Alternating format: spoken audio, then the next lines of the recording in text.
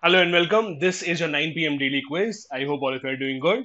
I welcome you all to today's session where we will be discussing the most important news stories of the day from the prelims examination point of view. If you are new here, please do hit the subscribe button as well. And if this video helps in any way whatsoever, please do hit the like button as well. That will help us increase the reach of this video. Also, if you are new and you don't know how to get the PDF of all these classes, I upload the PDFs on a weekly basis on my own Telegram channel. The link to join that channel again is in the description of the video. You can also download my app from the link given in the description of the video. The app is called Harshmeet Study Circle that has a bunch of other courses that I offer, PSIR optional courses, personal mentorship programs for mains answer writing, prelims, and much, much more. Let's begin then with the very first question. Consider the following statements with regards to Article 30 of the Indian Constitution. Number one, the protection under Article 30 is confined only to minorities, religious or linguistic, and does not extend to any other section of the citizens. Second, currently only those communities notified under Section 2C of the National Commission for Minorities Act 1992 by the central government are regarded as minorities. Third, in 1993, five religious minorities, that is Muslims, Christians, Sikhs, Jains, and Zoroastrians, were notified as minority communities. In 2014, the Buddhists were also notified as a minority community. How many of these statements are correct? Now, this is an important question because Article 29 and Article 30 are continuously and very frequently asked by the UPSC in the prelims and the mains examination. Article 30 is specifically a minority community right, giving them the right to administer and establish their own education institutions. First and second are correct. Third statement is wrong. When the first five minorities were notified, Buddhist was one of them. It was the Jains that were notified as minorities in 2014. So in 2014, the list became six. The sixth one, that is Jains, were added in 2014. First and second are correct. Remember, there is no definition of minorities in the constitution. The constitution mentions the word minority but does not define it. It is defined by the central government under National Commission for Minorities Act of 1992.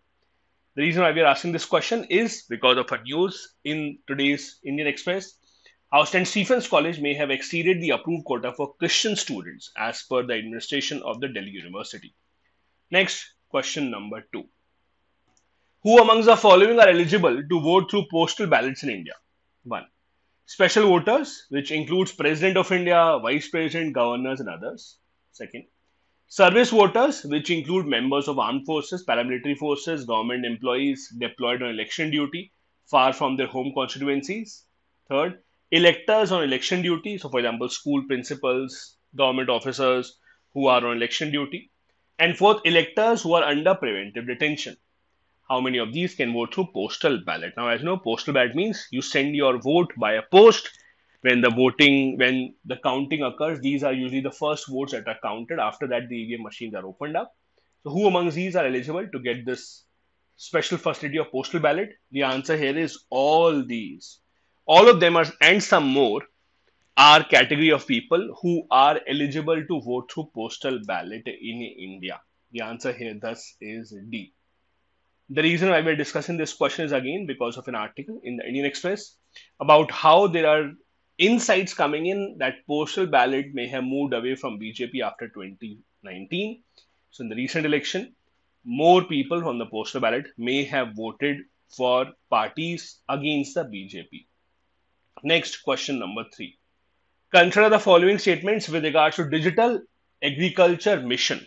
One, farmers will be given a digital identity called Farmer ID, similar to Aadhaar, which will, be linked dynamically to the records of land, ownership of livestock, crops sown, demographic details, family details, schemes, benefits availed, etc. Second, the crop sown registry will provide details of crops planted by the farmers. And third, under the mission, detailed soil profile maps on a scale of 1 to 10,000 of about 142 million hectares of agricultural land are envisaged to be prepared. How many of these are correct? Now, the Digital Agriculture Mission is a very ambitious project of the Government of India to ensure that we have as many details and key data points about agriculture sector in India as possible, including details about individual farmers, giving them identity, helping the government to identify those farmers, the record of the agricultural land, what is grown where, soil profile map so that the government can identify which crops are best suited for which area, and a lot more. All that will be a part of Digital Agriculture Mission. All these three statements are correct in this regard. The answer here is C. There have been a lot of articles on Digital Agriculture Mission. I recommend you to read at least a couple of them in detail to understand this topic. The Hindu newspaper today has this very important article. You can read this to understand the in and out of this mission.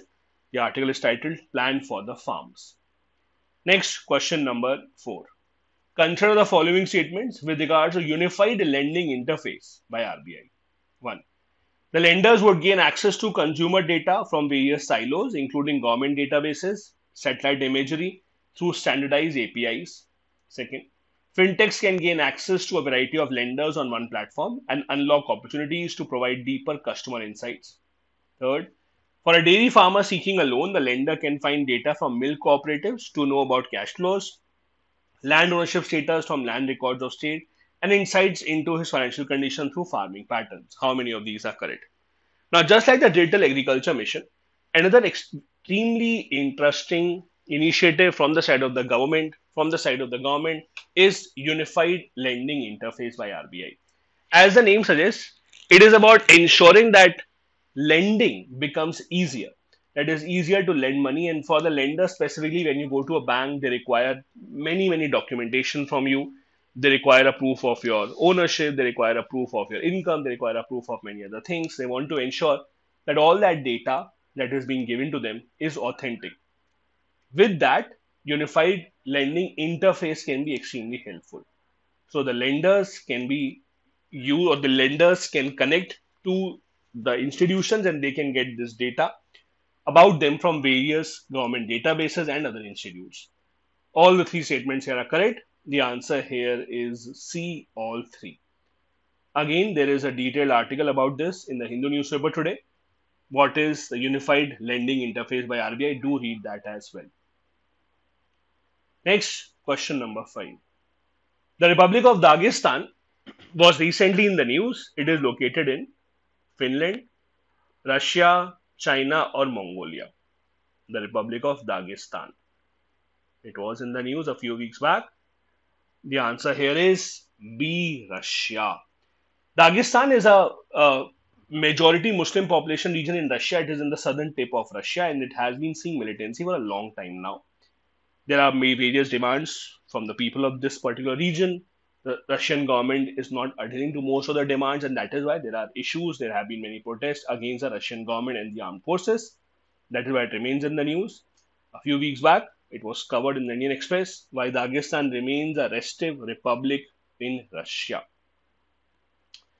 This brings to the end of the session, but at the end, I have an important infographic for you as always. The government recently shared seven schemes to improve farmers' lives and increase their income. Here is a summarized version of all these seven. I'm giving you infographic. You can read this from the PPT. This is the first scheme, the Data Agriculture Mission. Then we have the crop science for food and nutritional security. The government has given details of all of these, strengthening agriculture education, management, social sciences, sustainable livestock health, sustainable development of horticulture, and in the end, strengthening Krishi Vigyan Kendra and natural resource management.